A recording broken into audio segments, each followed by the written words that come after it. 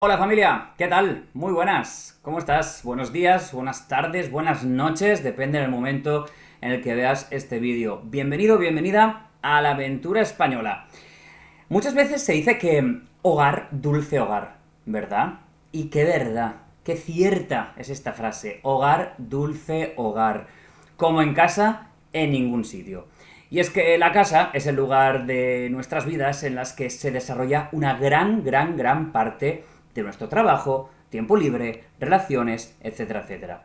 En las casas descansamos, dormimos, cocinamos, recibimos a los amigos, vivimos con nuestra familia y, como decía anteriormente, también trabajamos últimamente, ¿verdad? La casa en los recientes años se ha convertido también en un espacio de trabajo online.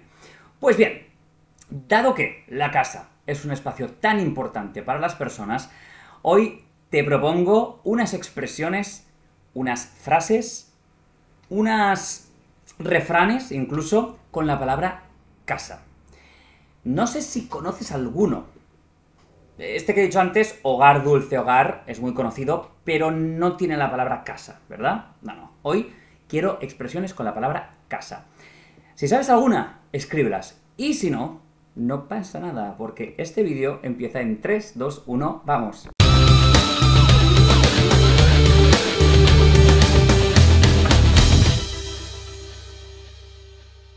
Vamos con las expresiones. Como siempre, aquí las verás escritas para que puedas practicar, para que puedas tener tiempo de escribirlas, anotarlas y después practicarlas con nosotros aquí escribiendo frases eh, como ejemplos o, ¿por qué no?, en tu, vida, en tu vida diaria. Y vamos con la primera. La primera me parece especialmente divertida. La expresión es estar como Pedro por su casa.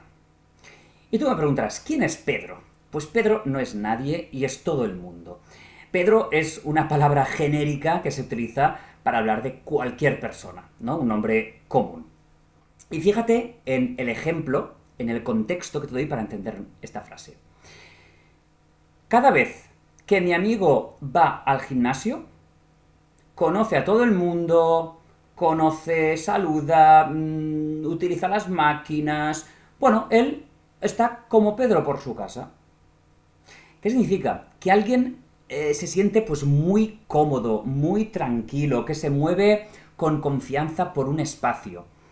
En este contexto, este chico, mi amigo, va tan habitualmente al gimnasio, conoce tanta gente en su gimnasio que es como Pedro por su casa. Es decir, como si estuviera en su casa. Igual de cómodo, igual de confortable, igual de confiado se siente en este espacio. Ahora viene la pregunta. ¿Hay algún espacio en que tú te sientes como Pedro por su casa? ¿En tu lugar de trabajo? Quizá en la escuela de tus hijos, de tus hijas, conoces eh, pues la zona, conoces los profesores, profesoras y te sientes súper cómodo, como Pedro por tu casa. Quizá en el gimnasio también, como el ejemplo que te he dicho. Cuéntame, ¿en qué espacio te sientes como Pedro por su casa? Segunda frase, tirar la casa por la ventana. Y tú me dirás, ¿pero qué es esto de tirar la casa por la ventana? Bueno, pues te diré que esta expresión tiene un origen en el pasado, cuando las familias compraban nuevos muebles o tenían un ingreso de dinero, los viejos muebles los echaban. No sé si literalmente por la ventana, pero los echaban, los tiraban fuera. ¿Qué significaba? Si tú tiras todos los muebles y tienes nuevos, es que has ganado dinero, ¿no? Es que puedes invertir dinero. Entonces, tirar la casa por la ventana significa gastar mucho dinero. Frase de ejemplo. El próximo año voy a cumplir 50 años y voy a tirar la casa por la ventana. Voy a invitar a 100 personas. Voy a ir a un restaurante de lujo voy a comprar lo que necesite para celebrar un fiestón. Voy a tirar la casa por la ventana el próximo año porque son 50 años de vida. Cuéntame también, ¿recuerdas alguna ocasión en tu vida en la que has tirado la casa por la ventana? ¿O en el futuro? ¿Tienes prevista alguna ocasión en la que vas a tirar la casa por la ventana? ¿En la que vas a gastar mucho dinero? Puede ser una fiesta, puede ser un viaje, unas vacaciones, puede ser compra de ropa, cualquier cosa en la que tú creas que vas a gastar mucho dinero, y bien gastado, y contento, y contente, y feliz, eso es tirar la casa por la ventana. Tercera expresión. Caérsele a alguien la casa encima. Vale. Se me cae la casa encima. No de forma literal, no porque la casa tenga problemas de construcción, no. Es más de forma simbólica. Es decir, estoy agobiado en casa, no estoy bien, necesito salir, necesito eh, distraerme fuera de casa.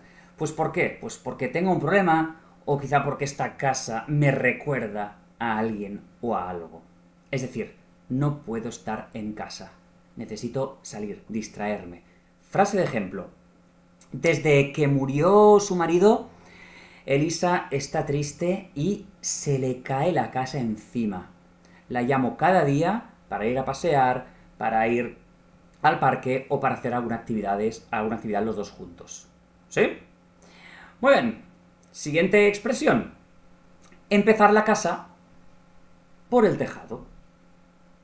El tejado es la parte de arriba, ¿verdad? De una casa y no es la parte por la que se construye normalmente una casa, ¿no? No se empieza por el tejado, se empieza por la base, por abajo.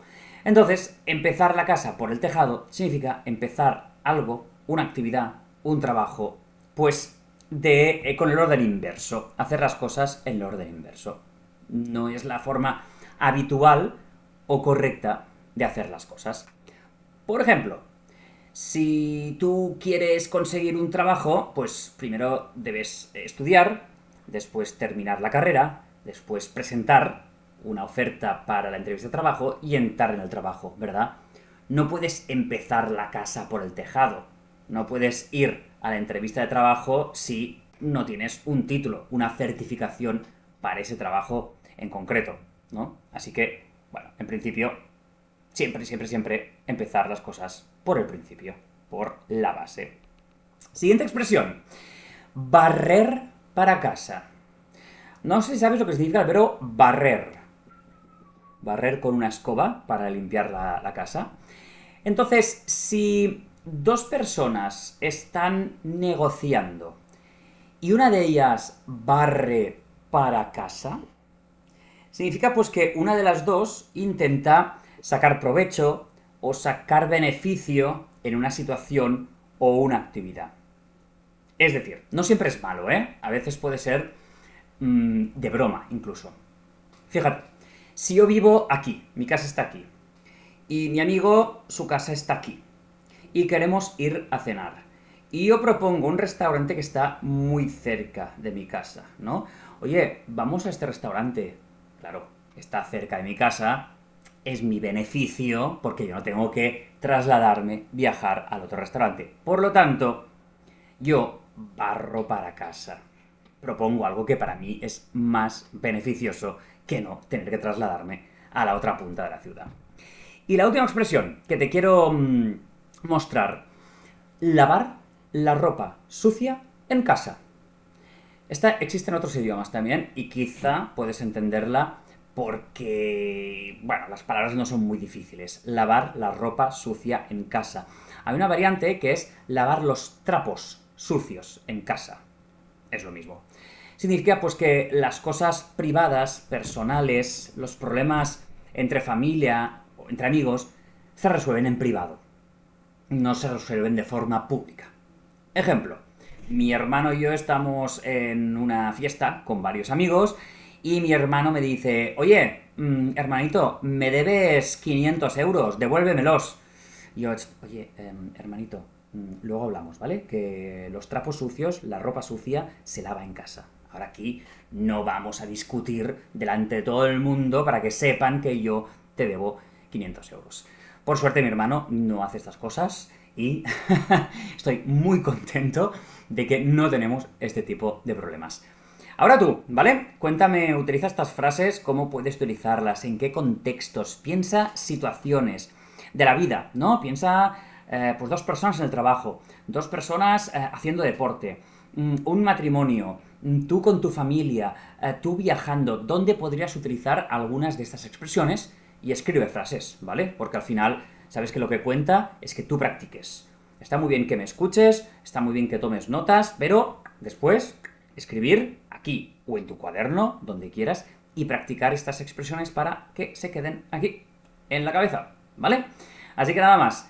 No te pierdas un segundo vídeo que tenemos esta semana en nuestro canal de YouTube sobre más expresiones, pero no de casa.